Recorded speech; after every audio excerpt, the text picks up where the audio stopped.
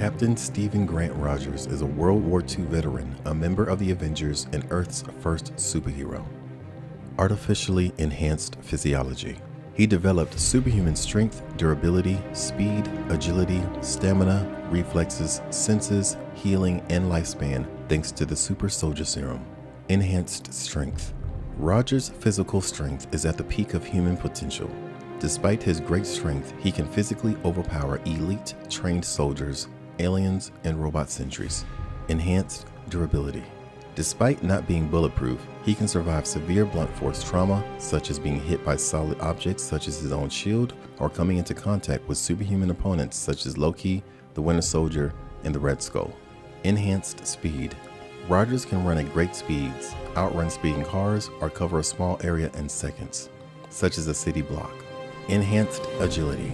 As a result of his balance, equilibrium, flexibility, and dexterity, Rogers can coordinate his body perfectly. During the destruction of the Hydra base that Bucky Barnes was held captive in, Rogers jumped from one end of the complex to the other in order to escape.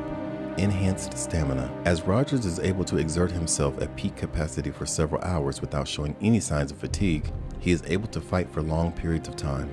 Enhanced reflexes. When Rogers was on his motorcycle, he was able to dodge gunfire from a Quinjet's Gatling gun with ease as he was accelerating towards the airship. Enhanced intelligence. Rogers' mental performance has been greatly enhanced, allowing him to operate more efficiently and more quickly.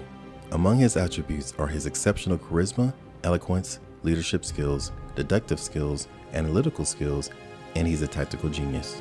Regenerative healing factor. Rogers' physiology benefited from the Super Soldier Serum's speedy healing and regeneration abilities. Rogers is immune to earthly infections, diseases, and disorders, and he cannot be intoxicated by alcohol, drugs, or impurities. Longevity. Rogers ages much slower than most humans due to the Super Soldier Serum, a trait he shares with Bucky Barnes and Isaiah Bradley. During nearly 70 years of being frozen in ice and placed in a cryogenic state, he was kept alive and halted from aging. If you want to see and hear more of Steve Rogers, Captain America's abilities, please subscribe for more.